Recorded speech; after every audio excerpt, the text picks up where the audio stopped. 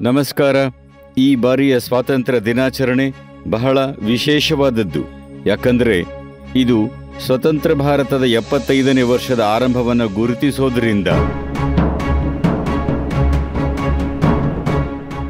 ಭಾರತ ಸಾವಿರದ ಒಂಬೈನೂರ ನಲವತ್ತೇಳರಿಂದ ಬಹಳ ದೂರ ಸಾಗಿ ಬಂದಿದೆ. ನಾವು ಆರೋಗ್ಯ, ಉದ್ಯಮ, ವೈಜ್ಞಾನಿಕ ಸಾಧನೆಗಳು ಮತ್ತು ಅದಕ್ಕಿಂತ ಮುಖ್ಯವಾಗಿ ಲಕ್ಷಾಂತರ ಜನರನ್ನು ಬಡತನದಿಂದ ಹೊರತರೋದರಲ್ಲಿ ಮಹತ್ತರವಾದ ಪ್ರಗತಿ ಸಾಧಿಸಿದ್ದೇವೆ.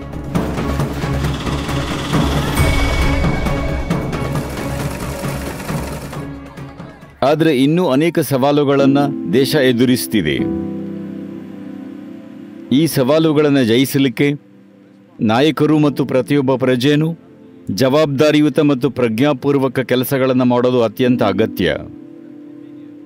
ತಕ್ಷಣದ ಮತ್ತು ಸ್ಪಷ್ಟವಾದ ಸವಾಲು ಅಂದರೆ ಕೋವಿಡ್ ಸಾಂಕ್ರಾಮಿಕ. ಬಹಳಷ್ಟು ಜನರು ವೈರಸ್ ಜೊತೆ ಹೋರಾಡಕ್ಕೆ ಯೋಚಿಸ್ತಿದ್ದಾರೆ ಅಂತ ನಂಗೆ ಗೊತ್ತು ಇಲ್ಲ, ದಯವಿಟ್ಟು ವೈರಸ್ ಜೊತೆ ಹೋರಾಡಕ್ಕೆ ನೋಡಬೇಡಿ. ಮುಖ್ಯವಾಗಿ ಬೇಕಾಗಿರೋದು ಅಂದರೆ ಸಾಮಾಜಿಕ ಅಂತರ, ಮಾಸ್ಕ್, ವ್ಯಾಕ್ಸಿನ್ ಮತ್ತು ಸಂಬಂಧಪಟ್ಟ ಅಧಿಕಾರಿಗಳಿಂದ ನೀಡಲಾಗಿರೋ ಎಲ್ಲ ಥರದ ಮಾರ್ಗಸೂಚಿಗಳನ್ನು ಅನುಸರಿಸೋದು. ನಾನು ನಿಮ್ಮೆಲ್ಲರನ್ನೂ ಕೇಳ್ಕೋತೀನಿ. ಭಾರತ ಈಗಾಗಲೇ ಸುಮಾರು ಐದು ಲಕ್ಷ ಜನರನ್ನು ಕಳ್ಕೊಂಡಿದೆ. ಪ್ರಪಂಚದಾದ್ಯಂತ ಸುಮಾರು ಐವತ್ತು ಲಕ್ಷ ಜನ ಮರಣಿಸಿದ್ದಾರೆ. ಇದನ್ನು ಕೊನೆಗೊಳಿಸೋಣ. ನಾವೆಲ್ಲ ಕೋವಿಡ್ ಮಾರ್ಗಸೂಚಿಗಳನ್ನು ಅನುಸರಿಸಿ ಜವಾಬ್ದಾರಿಯಿಂದ, ಪ್ರಜ್ಞೆಯಿಂದ ನಡ್ಕೊಂಡ್ರೆ ಈ ವೈರಸ್ ಖಂಡಿತವಾಗಲೂ ನಾಶವಾಗುತ್ತೆ. ವೈರಸ್ ಎಲ್ಲ ಮುಖಪುಟಗಳಲ್ಲೂ ಈಗ ಇರಬಹುದು, ಆದರೆ ನಾವು ಎದುರಿಸ್ತಿರೋ ಒಂದೇ ಸವಾಲೇನಲ್ಲ ಇದು. ತುರ್ತು ಕ್ರಮದ ಅಗತ್ಯವಿರೋ ಇನ್ನೂ ಹಲವಾರು ವಿಷಯಗಳಿವೆ. ಇವುಗಳಲ್ಲಿ ನಾವೀಗ ಎದುರಿಸ್ತಿರೋ ಪ್ರಮುಖ ಸವಾಲು ಅಂದರೆ ದೇಶದ ಮಣ್ಣಿನ ಅವನತಿ. ದುರದೃಷ್ಟವಶಾತ್, ಪ್ರಪಂಚದಲ್ಲಿ ಇದೊಂದು ವಾಸ್ತವ. ಆದರೆ ವಿಶೇಷವಾಗಿ ಭಾರತದಲ್ಲಿ ಇದೊಂದು ದೊಡ್ಡ ಸವಾಲಾಗಿದೆ. ನಾವು ನಮ್ಮ ಆಹಾರ ಮತ್ತು ನೀರಿನ ಕೊರತೆಯಲ್ಲಿ ಅಪಾಯಕಾರಿ ಹಂತನ ತಲುಪುತ್ತಿದ್ದೀವಿ. ಒಂದೆರಡು ಮುಂಗಾರು ವಿಫಲವಾದರೆ ನಾವಿಲ್ಲಿ ತೀವ್ರವಾದ ಕಲಹ ಮತ್ತು ಸಂಕಟಗಳನ್ನು ಎದುರಿಸಬೇಕಾಗಬಹುದು. ನಾವೀ ಪರಿಸ್ಥಿತಿನ ಸರಿ ಮಾಡದಿದ್ದರೆ ಮುಂದಿನ ಪೀಳಿಗೆಗೆ ನಾವು ಬಿಟ್ಟುಕೊಡೋ ಈ ಭೂಮಿ ಎಂಥ ಸ್ಥಿತಿಯಲ್ಲಿರುತ್ತೆ ಅಂದರೆ ಅವರು ನಮ್ಮನ್ನು ಶಪಿಸ್ತಾರೆ. ಅಂಥ ಸ್ಥಿತಿಯಲ್ಲಿ ಬಿಟ್ಟುಕೊಡ್ತಿದ್ದೀವಿ. ಸಮೃದ್ಧವಾದ ಮಣ್ಣು, ಶುದ್ಧವಾದ ನೀರು ಮತ್ತು ಗಾಳಿಯನ್ನು ಬಿಟ್ಟು ಹೋಗೋದು ತುಂಬ ಮುಖ್ಯ. ಯಾಕಂದ್ರೆ ಉತ್ತಮ ಬದುಕು ಕೇವಲ ಸಂಪತ್ತಿನ ಕಾರಣದಿಂದಲ್ಲ, ಆದರೆ ಶುದ್ಧವಾದ ನೀರು, ಗಾಳಿ ಮತ್ತು ಪೌಷ್ಟಿಕ ಆಹಾರದಿಂದ ಆಗುತ್ತೆ. ಮಣ್ಣಿನ ಅವನತಿಯ ಕಾರಣ ಈ ವಿಷಯಗಳು ತೀವ್ರವಾಗಿ ಬೆದರಿಕೆಗೆ ಒಳಗಾಗ್ತಿವೆ. ಇದು ನಾವು ಪರಿಹರಿಸಬೇಕಾಗಿರೋ ಪ್ರಮುಖ ಅಂಶ. ಸಾಂಕ್ರಾಮಿಕ ರೋಗದ ಬಗ್ಗೆ ನಮಗಿರೋ ಕಾಳಜಿ ಮಧ್ಯದಲ್ಲಿ ಮಣ್ಣಿನ ಆರೈಕೆಗೆ ಅಗತ್ಯವಿರೋ ಈ ಅಂಶನ ನಾವು ತಪ್ಪಿಸಬಾರದು. ನಾನೇನೋ ಈ ಕ್ಷೇತ್ರದಲ್ಲಿರೋ ಬಹಳಷ್ಟು ಪರಿಣತರ ಜೊತೆ ಮಾತಾಡ್ತಿದ್ದೀನಿ. ಈ ಸಮಸ್ಯೆ ಮತ್ತು ಪರಿಹಾರಗಳ ಬಗ್ಗೆ ಸಾಕಷ್ಟು ಜಾಗೃತಿನೂ ಎಲ್ಲೆಡೆ ಇದೆ. ಆದರೆ ಅದನ್ನು ಸಾಧ್ಯ ಮಾಡಕ್ಕೆ ಜನರ ಸಹಕಾರದ ಅಗತ್ಯ ಇದೆ. ಪ್ರಪಂಚದ ಹೆಚ್ಚಿನ ದೇಶಗಳು ಪ್ರಜಾಪ್ರಭುತ್ವದಲ್ಲಿವೆ. ಆದಷ್ಟು ಜನ ಇದನ್ನು ಅರ್ಥ ಮಾಡಿಕೊಳ್ಳೋದು ಮುಖ್ಯ ಮತ್ತು ಮಣ್ಣಿನ ಪುನರುಜ್ಜೀವನಕ್ಕಾಗಿ ದೀರ್ಘಾವಧಿ ಪ್ರಕ್ರಿಯೆಗಳನ್ನ ಜಾರಿಗೆ ತರಕ್ಕೆ ಸರ್ಕಾರಗಳನ್ನ ಬೆಂಬಲಿಸಬೇಕು. ಮತ್ತೆ ನೀರಿನ ಕೊರತೆ ಮತ್ತು ಬೇರೆ ದುಷ್ಪರಿಣಾಮಗಳನ್ನು ತಡೀಬೇಕು. ಹವಾಮಾನ ಬದಲಾವಣೆ ಸಮಸ್ಯೆಗಳು ದೊಡ್ಡದಾಗಿರೋದನ್ನ ನಾವಿವತ್ತು ಎಲ್ಲೆಡೆ ನೋಡ್ತಿದ್ದೀವಿ. ಅವು ದೊಡ್ಡದಾಗಿರೋದು ಯಾಕಂದ್ರೆ ವಿಪತ್ತು ನಮ್ಮ ಮೇಲೆ ಅಪ್ಪಳಿಸ್ತಿರೋದ್ರಿಂದ.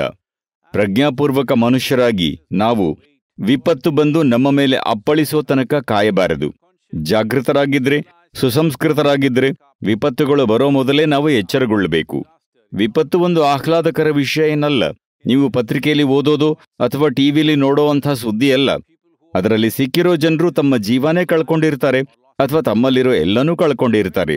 ಇದನ್ನು ಸರಿಪಡಿಸೋದ್ರಲ್ಲಿ ಮುಖ್ಯವಾದ ಅಂಶ ಅಂದ್ರೆ ನಾವು ಸರ್ಕಾರಿ ಶಾಸನಗಳನ್ನು ನೋಡಬೇಕು ಮತ್ತು ಗಣನೀಯ ಪ್ರಮಾಣದ ಬಜೆಟ್ ಮತ್ತು ಸರ್ಕಾರಿ ವ್ಯವಸ್ಥೆನ ಇದರಲ್ಲಿ ಹೂಡಿಕೆ ಮಾಡಲಾಗಿದೆ ಅಂತ ಖಚಿತಪಡಿಸ್ಕೋಬೇಕು. ಇದು ಸಂಭವಿಸಕ್ಕೆ ಸರ್ಕಾರದ ಶಾಸನಗಳು ಬಹಳ ಮುಖ್ಯ. ಭಾರತದ ನೆಲನ ರಕ್ಷಿಸಕ್ಕೆ ಸರಿಯಾದ ಶಾಸನ ಮಾಡೋದು ಬಹಳ ಮುಖ್ಯವಾಗಿದೆ.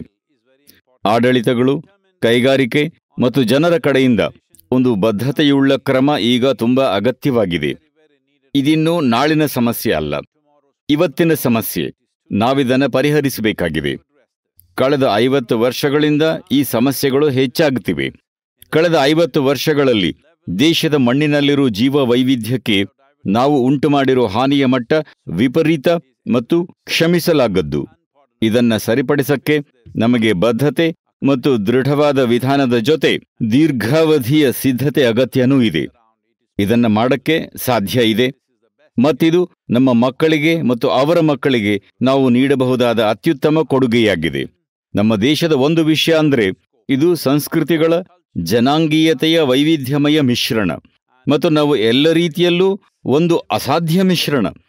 ಆದರೆ, ಇದೇ ನಮ್ಮ ಶಕ್ತಿ, ಇದೇ ನಮ್ಮ ಗುಣ ಕೂಡ.